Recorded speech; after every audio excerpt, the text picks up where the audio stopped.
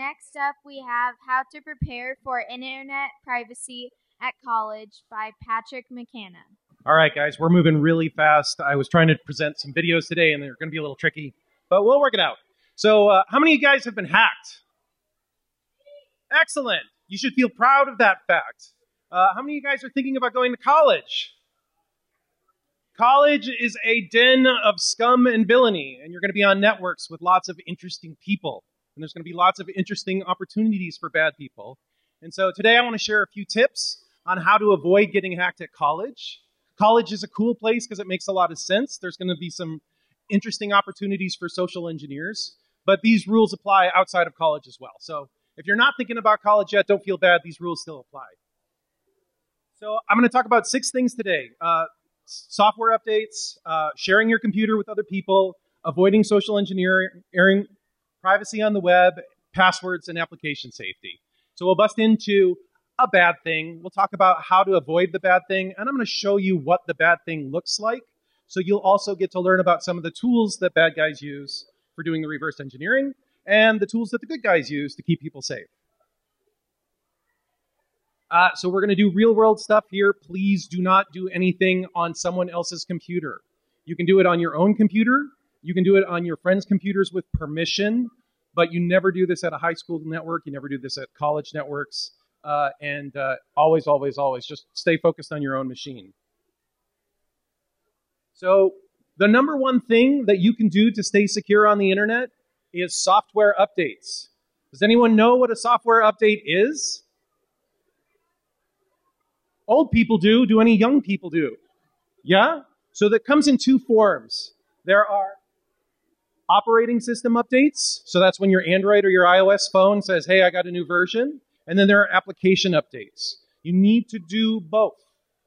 If you see that your phone says that there are updates available, that's a really good thing. That means that that vendor is working hard to get security fixes out into your hands. So software updates, if you do nothing else, this is the bare minimum. As soon as they're available, you apply them. And, and in fact, this week, there's a nasty iOS bug that came out uh, it's actually a Broadcom bug that you can have your phone get attacked without actually attaching to a Wi Fi network. A software update came out earlier this week. If you applied that update, you would be in a much safer state at DEF CON. So software updates are super critical.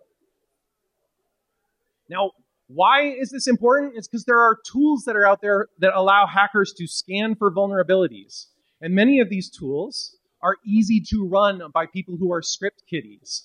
And so here I've got an example of uh, an open source tool called OpenVAS that you can download. There are VM images that you can use to experiment with, and you can grab an IP address, point the scanner at that IP address, and find all the ways that you could potentially attack that device from a networking perspective. So the cool thing here is, is again, if you do software updates, when somebody runs this scan against your computer, they're not going to have all these cool new ways to get access to it. So another cool thing you're going to run into in college is you're going to have friends who are going to have some reason that they can't use their own computer. And they're going to want to say, hey, can I come over and, and borrow your computer for a few hours to work on my term paper? That's really a good thing. You're probably making friends. And it's good to have trust with your friends. But it's also important to recognize that you're giving them a lot of power. Your friends could accidentally install malicious software, or they could be less friendly than you think and they could install spyware on your computer. So that's a, a bad thing. They could copy sensitive files off of your computer. And they could also go through your browser and go through your browser history, grab cookies from your logged in websites, and they can even do things like extract passwords from your browser if you save your passwords in your browser. I'm hoping to show you that in a second. Uh, we'll see how that works. So it's a bad thing to share your computer. It's also a good thing, but there are ways to mitigate the risks. The one thing you can do is create temporary guest accounts for your friends. You never let them log in on your own account. And the reason is because no matter how good you think you are about keeping private files out of reach of your friends, you're going to make a mistake. So create an isolated guest account where people can make mistakes and it doesn't affect you. Never ever share your password. Never set up network file sharing. Someday you're probably going to take computer science classes and you will learn about this. And, and there are safe ways to do it, but everyone forgets that they turned on file sharing. So you, the best rule of thumb is don't use file sharing. Set up a separate server, do something with a Raspberry Pi so you don't accidentally share your whole computer. And then, um, again, don't ever let them use their computer under your own account. And one other thing, I know a lot of kids are interested in like incognito mode or the private modes on the browsers, and how does how does that protect your privacy? And the thing is, is what it does is it deletes your browsing history. It can make your cookies go away so that nobody knows what sites you previously logged into, but it's still not technically private. The web server knows that your IP address accessed that site at a time. They know what resources you accessed. Do not track is kind of a an agreement, and not all websites have to honor the do not track rules. So it's a thing that kind of keeps your local account safe, but if you're using guest accounts, that's the thing to do. Incognito mode is not really an effective privacy strategy. Uh, so I'm going to post my slides online later because obviously these URLs are crazy. But if you don't know how to create guest accounts in Windows or Mac OS X, there are great instructions online from Microsoft and Apple on how to do that. Okay, so I want to show extracting a password from a uh, an existing browser session. We'll see how this works. This might not work. Okay, so it's not going to work. But what I'm going to tell you is uh, you can use Chrome DevTools to go into a website that has the password stored in it. And you can use DevTools to change a, a div type of a password input field. That's the thing that makes the stars to a text input field.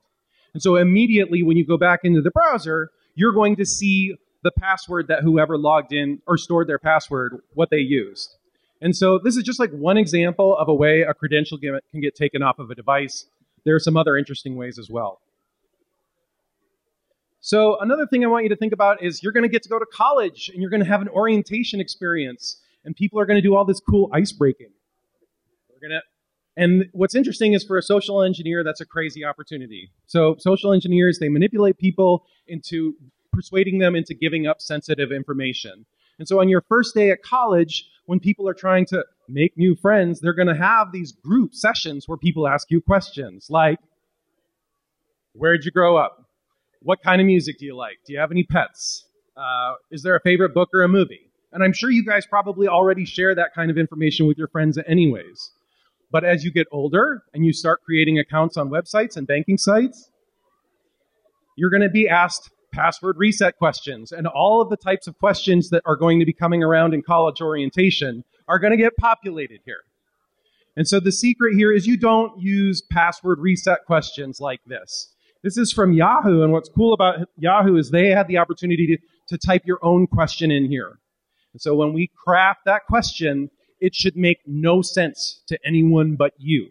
No one should be able to reverse engineer what question or what the answer was to your question. Not all websites use this, so you're going to have to use some other strategies as well. Uh, another thing is watch your email. If you are seeing password reset emails unexpectedly, don't do anything with those. That might be a phishing email, but it also might be telling you that one of your hacker friends is bumping your account and they're trying to see whether or not they can get access to your, your account. So password resets, they're not necessarily bad, but if you aren't expecting them, delete them, ignore them, and move on. You might even consider changing uh, your account on the existing uh, application. Uh, you should know about hovering over links to validate that a link actually goes to a given address. So in this example, you know, we got freerolexwatches.com in the browser, but if you actually hover over, it's going to go to PC World. And this is a common thing for phishers to be using. So um, be careful about your password reset questions. Um, does everyone know what two-factor authentication is? Yes, yes, yes, yes. So make sure your email, your social network accounts, those that sub- support it, set up two-factor authentication either with SMS or with an independent mobile app. Yeah.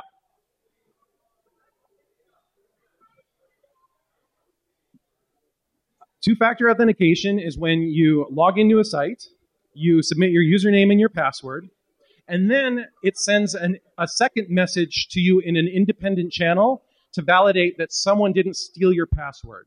So if I know your phone number, if you log into my website, you submit your password, I know you might be you. But I'm going to send a text message to your phone under the theory that no one stole your phone, and it's going to have a number in it, and then you're going to enter that number into the, the web field.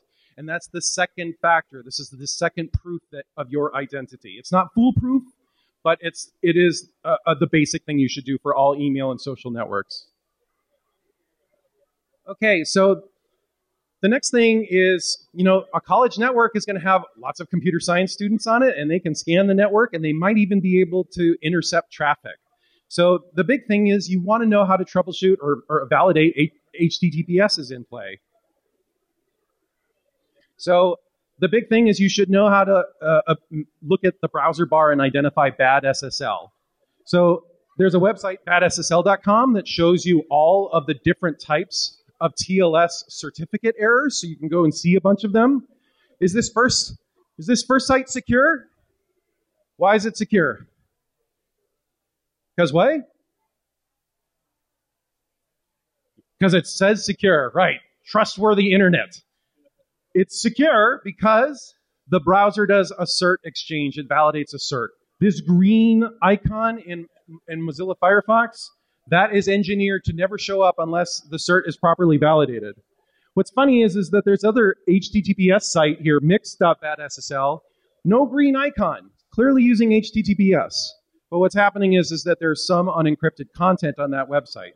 So always know how to check the browser bar and look for the green lock. If you don't do that, if you don't do that, so here we have a, a web form, and obviously no HTTPS, no green lock, and it's asking for a password. And so in this scenario, someone who's on the network running a tool called Wireshark is able to intercept that traffic. My videos aren't playing, but uh, in a Wireshark session, it's two packets. It's very easy to see the password that was submitted when I hit submit. And in this case, my password is my password with a zero. Super trivial. You guys can do this on your own computers right now if you set up an, uh, an unencrypted website. So it's super easy to extract secrets from unencrypted session. So we always look for the green lock in TLS. So you're not always responsible for a stolen password. You can do everything right, and a website can still get compromised and your account can get hacked. So plan for the fact that your passwords will get stolen. Make sure that you never ever reuse a password on a different site.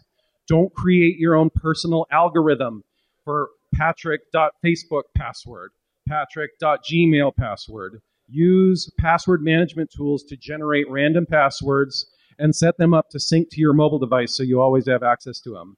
A cool site, you can submit your email address to haveibeenpwned.com to deter- or haveibeenpwned.com to see whether or not any sites have lost your uh, account information. Um, this is cool. So when I was about your guys' age, I started reading I, uh, IETF RFCs to try to understand how the internet works. So uh, again, I'll share these links later. This is super advanced reading, but it's never too soon to start reading the specs that actually define how the internet works. Um, another cool thing you can do is actually check certs, but because my videos aren't working, that's not going to show. So you can troubleshoot why a cert, uh, you see a red lock even when you go to an HTTPS site if you know how to check certificates. Okay, so second to last is mobile safety. So apps, that's the big topic. Jailbreaking or rooting your phone breaks all of your security and privacy assumptions. So while that's a powerful tool and you can learn interesting things, just understand that you are damaging your security when you do that. Uh, in the Android world, you can install applications outside of the Play Store using unknown sources. It allows you to download apps from the browser. Some of you may have used that to find pirated games. Um, this is always dangerous. This is the way that people get malware in the ecosystem, Android ecosystem. So be very wary about using unknown sources. Um, pay attention to your app permissions. So it's going to say, I'm going to use the microphone, I'm going to use the camera. If you're not comfortable with that, don't install the app. Um, one thing, I know a lot of kids like Snapchat. You know, these pictures, they will eventually expire. If you send an expiring picture to a jailbroken phone, they can break how the, the photo expiration works. So I don't think that using expiring uh, photo sharing apps is ever a good idea. Those those photos will never stay private. And um, yeah, so and the problem is again, you'll never know if you're sending something to someone with a jailbroken phone. Okay, so that's basically it. So the, the six rules here keep your software up to date, OS and applications. Don't share access to your computer except for using a guest account. Be careful about social engineering. Uh, always check for SSL. Don't reuse passwords ever. And think twice about which apps you trust. Um, if you're interested, uh, I will share a link to my presentation on Twitter later. Uh, this is my contact information. I hope this was helpful. Thanks, everybody. Have a great r00tz.